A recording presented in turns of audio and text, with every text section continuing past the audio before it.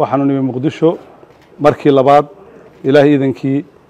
madaxda qaranka waxaan rajeynaya in la qaato. Horjoogaha maamulka huwanta laascaanood cabduqaadir firdhiye oo si xun loogu bahdilay magaalada muqdisho xogta shirka maamul goboleedyada oo xamar ka furmay xili puntland ay iska diiday ka qaybgalka shirkaas diyaargarowgii ugu weynaa ee xuska may oo laga dareemayo guud ahaan deegaanada somalilan gaar ahaan magaalada hargeysa madaxweyne biixi iyo taliya nuux ismaaciil taani oo qaaday tallaabooyin culus qodobadaas ayaa daawan doontaan halkan qubnaha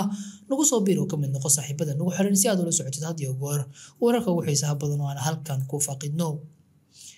aan ugu horreysiiye dhacdada ugu xiisaha badan horjoogaha maamulka s e c khaatumo cabduqaadir firdhiye ayaa waxaa goorsii horreysay uu gaaray caasimadda soomaaliya ee magaalada muqdisho halkaas oo ay ku soo dhoweeyeen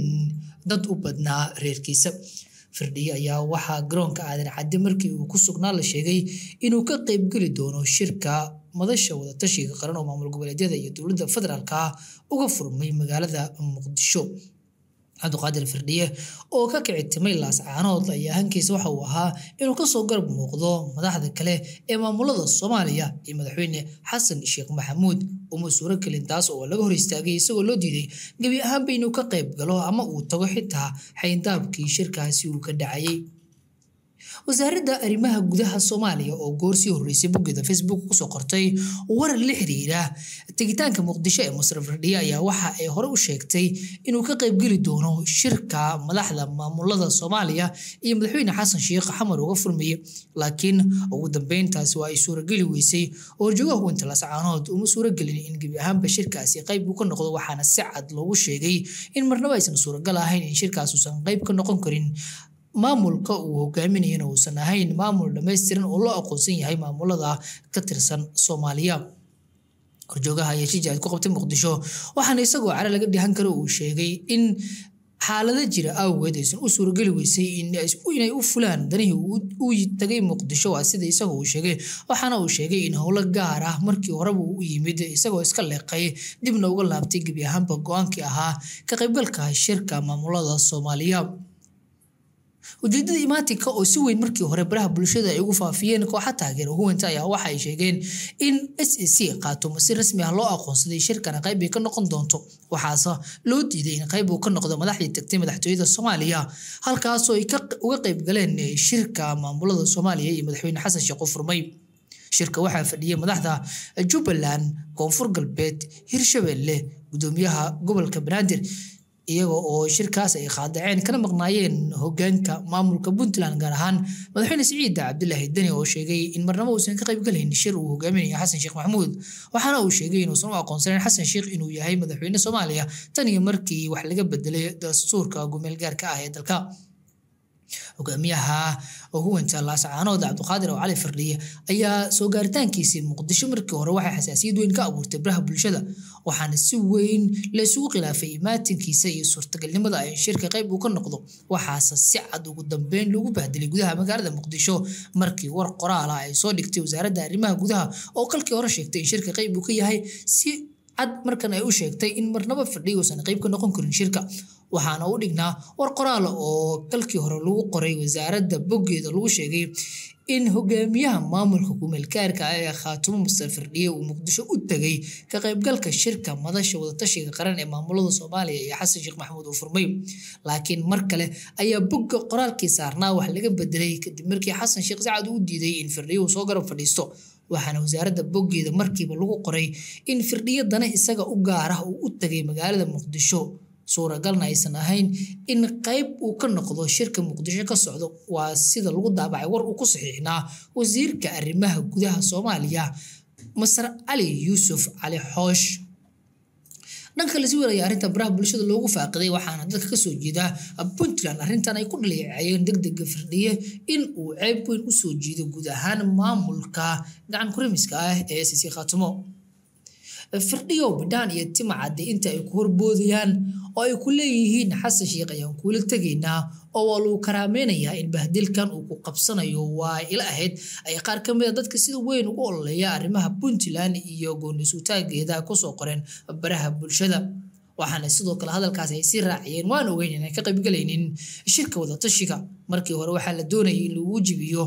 walaalka ama saaxiibka dani laakiin kuuma suuro gelin oo adigii ayaa barida dhulka lagugu dhuftay laguna bahdilay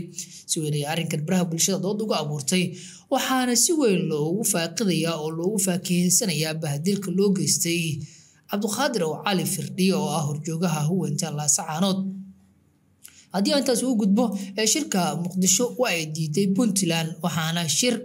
hal dhinac u muuqda oo iminka muqdisho gaar ahaan madaxtooyada soomaaliya uga socdaa madaxda gobollada qaar iyo sidoo kale madaxweyne xasan sheekh wixii ka soo baxa shirkaasi wararkeeni iyo barnaamijyadeeni xiga ayaan idinkugu soo gudbin doonaa dhanka kalena somalilan waxa ay markan qorsheynaysaa in si toosa kadib xuska ay tiin ay u qaado weerar ka dhan ah huwanta laascaanood waxaana xukuumadda somalilan sida la rumaysan yahay iminka ay diyaarinaysaa ciidankii ugu awoodda badnaa iyagoo garab buuxa ka helaya dowladda federaalka etoobiya milatariga somalilan ayaa waxa ku guudiyeen in mar kale ay la wareegi doonaan qeybaha ay ka lumiyeen gobolka sool iyaga oo sheegay in xitaa ay sii dhaafi doonaan laascaanood taasoo ka dhigan in xukuumadda muuse biixi uu hogaamiyo. Markale u muuqato in duulaan toosa ay qaadi doonto kadib xuska sideed iyo tobanka mey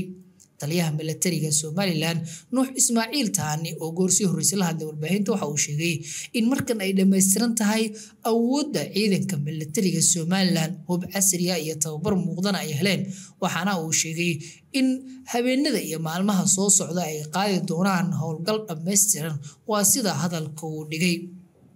goodiskan. Iminka uu sameynayo taliya nuux taane ayaa u muuqda mid dhaboobi kara marka aad eegto. Diyaargarowga ka muuqda ciidanka milatariga somalilan oo maalmahan soo bandhigayay. Gaadiid waaweyn hub casri ah oo dowladaha saaxiibada la-ah somalilan ay ka heleen kuwaas oo lagu soo bandhigaya fagaaraha waaweyn ee ciidamada tababarka loogu soo xerayey